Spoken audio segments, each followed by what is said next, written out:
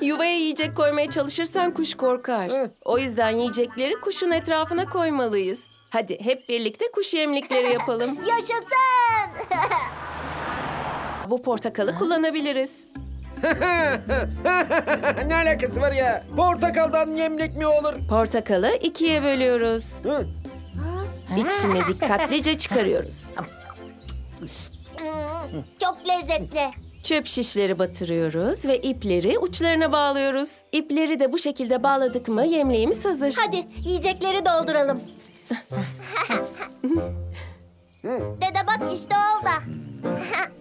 Şimdi bunu kuşun karşısındaki dallardan birine asmalıyız. Hadi dayı sen as istersen.